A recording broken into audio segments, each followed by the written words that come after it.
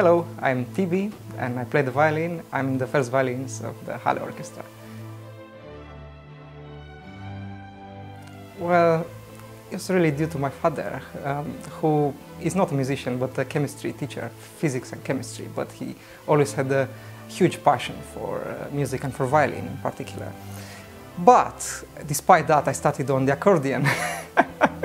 um, so for about a year or so, I played the accordion, and it was quite a big accordion for me at the time. So when I look at those photos, they're really funny because I'm about as big as the accordion. and then one year later, I, I, switched to violin and I went to the music school in Romania.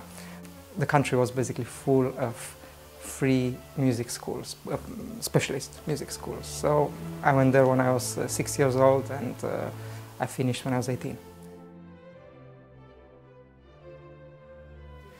After postgraduate, I, uh, I um, played with various orchestras. Um, I did uh, recitals, all sorts of, uh, you know, activity that freelancers do, freelance musicians do in London.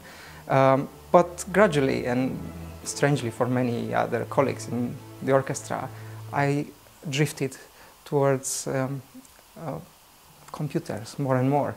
Although I meant it initially as a short-term thing, because of various factors and you know the course of life, I had to really concentrate on it for a few years. Um, and uh, really the only way I got back into music was again by chance in a way.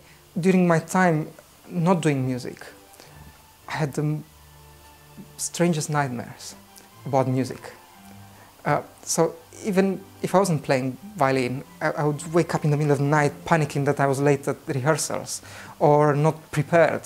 Or uh, another really um, strange nightmare that some musicians tend to have.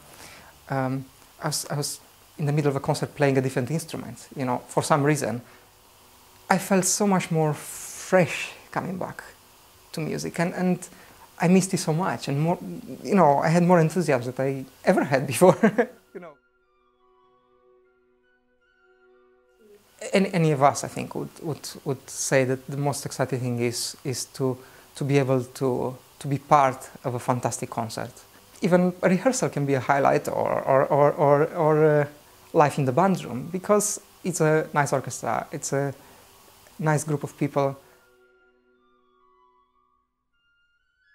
Um, my teachers have been a big influence on me, um, and people that I collaborated with after. Um, so I definitely have a lot of gratitude for my teachers, but not only violin teachers, but also academic teachers. Some, some of the academic teachers we had at college were so fantastic, I thought. They were equally influential, I think, on me as the instrumental teachers. And then while I was at college, we had some special guests. Uh, even if sometimes they would be in for much shorter periods, they would have a big impact on, on uh, you know, young students. Thing that one of the academic teachers at college told me, he was a teacher that we all respected very much because he seemed to know everything about music. One of the things that he kept saying to us, and I think it stuck with me and I think should be with every aspiring musician is you have to constantly try to learn more because you never know enough. And I always thought, how can this guy that knows everything about music say that he doesn't know enough? You know, because that's what basically he said. He said, you know, you always need to learn more music. There's, you never know enough music. You never heard enough music, and you never you never played enough music. Don't imagine that you know enough, or that you heard enough, or you played enough.